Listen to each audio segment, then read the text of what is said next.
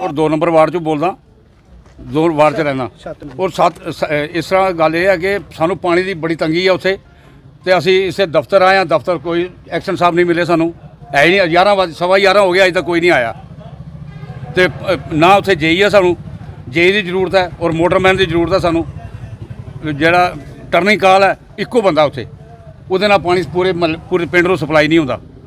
ਕਈ ਜਗ੍ਹਾ ਚਾਰ ਚਾਰ ਕਿੰਨਾ ਮੋਟਰਮੈਨ ਹਨ। ਉਹ ਕਿੱਥੇ ਮੁੱਠੀ ਹੈ ਮੁੱਠੀ ਜਗੀਰ। ਮੁੱਠੀ ਜਗੀਰ 4 ਲੱਛੀਪੁਰ 2 ਤਿੰਨ। 3 ਲਗੇਟ ਉੱਪਰ ਲਗੇਟ 4 ਤੇ ਸਾਡੇ ਲਗੇਟ ਮੋੜ ਚ ਕੋਈ ਨਹੀਂ ਹੈ। ਪਾਣੀ ਆਂਦਾ ਹੀ ਨਹੀਂ ਇਸ ਸਮੱਸਿਆ ਦੀ ਆਂਦਾ ਪਾਈਪਾਂ ਲੀਕ ਹਨ। ਚਾਰ ਚਾਰ ਦਿਨ ਨਹੀਂ ਆਉਂਦੇ। ਚਾਰ ਚਾਰ ਦਿਨ ਪਾਣੀ ਨਹੀਂ ਆਂਦਾ ਸਾਡੇ ਚੌਥੇ ਦਿਨ ਪਾਣੀ ਆਂਦਾ ਹੈ, ਤੇ ਉਹ ਵੀ ਪਾਣੀ ਬਿਲਕੁਲ ਕ- ਗੰਦਾ ਪਾਣੀ ਹੁੰਦਾ ਹੈ। ਰੋਜ਼ ਹੋ ਗਿਆ ਪਾਣੀ ਆਇਆ ਤੁਹਾਨੂੰ? ਸਾਨੂੰ ਅੱਜ 7 ਦਿਨ ਹੋ ਗਏ ਨੇ ਸਾਡੇ ਪਾਸੇ। ਪਾਈਪ ਲੀਕ ਹੈ। ਮੈਸੇਜ ਮੈਸੇਜ ਕਰਕੇ ਪਾਇਆ ਸੀ ਇਹਨਾਂ ਦੇ ਮੋਬਾਈਲ 'ਚ ਬਈ ਕਿ ਇਹ ਦੇਖੋ ਪਾਣੀ ਕਿਦਾਂ ਲੀਕ ਹੋ ਰਿਹਾ। ਤੇ ਫਿਰ ਵੀ ਪਾਣੀ ਨਹੀਂ ਆਇਆ। ਕੱਲ ਰਾਤ ਨੂੰ ਅਸੀਂ ਪਾਣੀ ਪਾਈਪ ਇੱਕ ਬੰਦੇ ਨੂੰ ਕਹਿ ਕੇ ਠੀਕ ਕਰਾਈ ਹੈ ਤੇ ਚਲੋ ਥੋੜਾ ਪਾਣੀ ਪੀਣ ਵਾਲੇ ਬਣੀਏ। ਪਰ ਮਹਿਕਮਾ ਸੁਣਦਾ ਹੀ ਨਹੀਂ ਹੈ।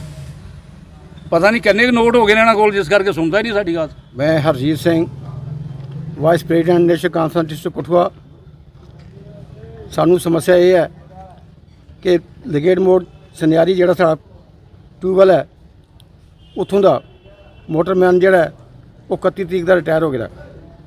ਲੇਕਿਨ ਉਸੇ ਜਗ੍ਹਾ ਅਜੇ ਤੱਕ ਮੋਟਰਮੈਨ ਕੋਈ ਨਹੀਂ ਲਗਾ ਵਾ। ਔਰ ਸਾਡੇ ਇਲਾਕੇ 'ਚ ਕੋਈ ਜੇਈ ਨਹੀਂ ਹੈ। ਜਿਹੜੀ ਅਸੀਂ ਸਮੱਸਿਆ ਆਪਣੀ ਕਿਸੇ ਨੂੰ ਦੱਸ ਸਕੀਏ। ਹਾਈਵੇ ਦਾ ਕੰਮ ਸ਼ੁਰੂ ਹੈ। ਸਾਡੇ ਉਸ ਰੋਡ ਤੇ ਉਹਦੀ ਕਰਕੇ ਕਾਫੀ ਪਾਈਪਾਂ ਜਿਹੜੀਆਂ ਉਹ ਟੁੱਟ ਚੁੱਕੀਆਂ ਹਨ। ਜਦੋਂ ਹਾਈਵੇ ਨਾਲ ਅਪਰੋਚ ਕਰਦੇ ਆ ਤਾਂ ਉਹ ਪੀਐਚਈ ਨੂੰ ਕਹਿੰਦੇ ਹਨ। ਜਦੋਂ ਪੀਐਚਈ ਨੂੰ ਅਪਰੋਚ ਕਰਦੇ ਆ ਉਹ ਹਾਈਵੇ ਨੂੰ ਕਹਿੰਦੇ ਹਨ। ਇਸ ਵਾਸਤੇ ਸਾਡੀ ਸੁਣਾਈ ਕੋਈ ਨਹੀਂ ਹੈ।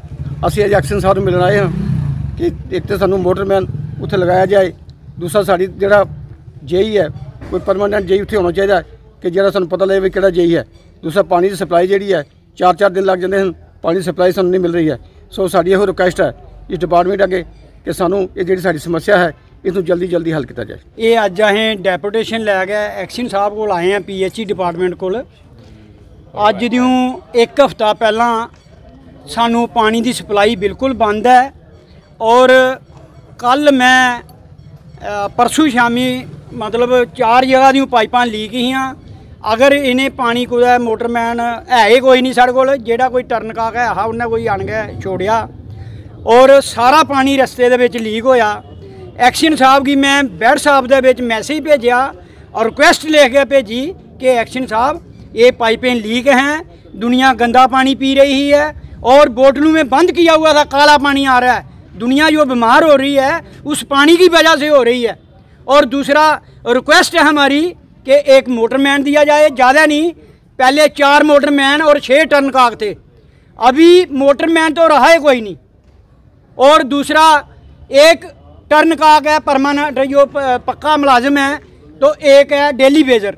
डेली बेजर वालों ने हड़ताल रखी हुई है और मैं गवर्नमेंट से ये भी रिक्वेस्ट करता हूँ कि ये जो डेली बेजर हैं, इनको पक्का किया जाए ताकि दुनिया की सुनाई की जाए। और एक्शन साहब, आप डिस्ट्रिक्ट के मालिक हो पीएचई के। अगर आप नहीं सुनाई करोगे तो दुनिया में पब्लिक की कौन सुनाई करेगा? इनको एक बहाना मिल गया है, डोगरी भाषा में बोलते हैं, जो है मुलाजिम, वो भी नहीं करता।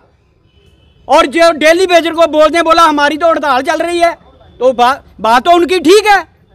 कि ज- जब उनकी हड़ताल चल रही है गवर्नमेंट उनकी सुनाई कोई नहीं कर रही तो वो कैसे पानी देंगे?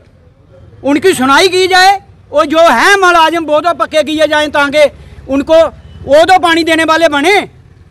तो हमारी यही रिक्वेस्ट है एक तो मोटरमैन हमारा कोई नहीं है मुट्ठी जगीर में चार मोटरमैन है और नाम पढ़ के बताऊँगा मैं आज एक्शन साहब को और तीन लछीपुर में है लुगेट में है और जो पंचायतें बहाल हैं, मैं उनके आगे रिक्वेस्ट करता हूँ कि अगर आप रेजुलेशन डालो, हर मीटिंग में रेजुलेशन डाल के भेजोगे इनको और ये सुनाई करेंगे, क्यों नहीं करेंगे?